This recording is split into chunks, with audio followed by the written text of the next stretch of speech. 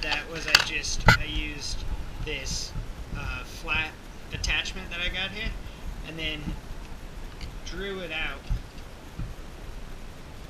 and then cut it with this, and then just started shaving it down little by little until I could get it to fix perfect, fit perfect, and then I did the same with the the outlet side here, and then I did a I just put a little hole in there so it'll so I can screw it in, and then this will be the out port for the cords. So when you buy your extension cord, you're going to cut it in half. And this part you're going to use. Um, so make that however long you feel that you need it.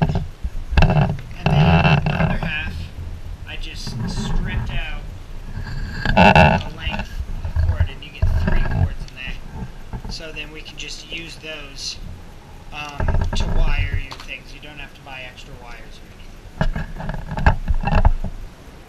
So this is the mock-up before. So what'll happen is these three black wires will all go together. And then connect to the black on the power cord. And then I mark these heat, so I put a red on there. And then this is blue for cooling and they'll go on the side that you broke the tab. Whichever one you want, hot or cold. And then this will go on to this one.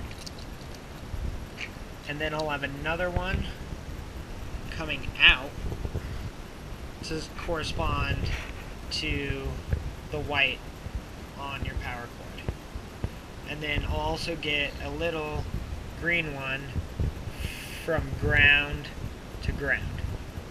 And then, so that's how it'll look in there, in the box. Oh, all three black wires, taped them together, and then did it with the, the black from the cord. And then I took this number two, which is the white one, and attached it to this. And then I took the white from here and attached it to the other side. So that's neutral out and then neutral in. And then I took a ground and then attached it to the green, the turquoise. And then I took a hot right here, which I marked with red, and then the cooling with blue. So then, and then I just put a little red tape so I can remember that this is the hot one. And then so really it's done right now. And we'll test it. So I set this at a 21, 22 degrees Celsius. And, and then I plug this lamp in the cold spot. So what I'm going to do is I'm just going to squeeze, just register my body heat. And then, and then, so to show you that all It'll go on in a second.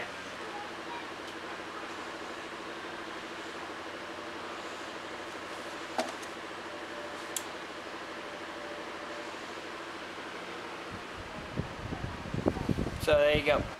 There's the finished product. It cost me about 25 bucks.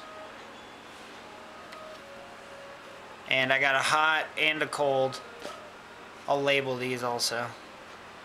And uh, bye.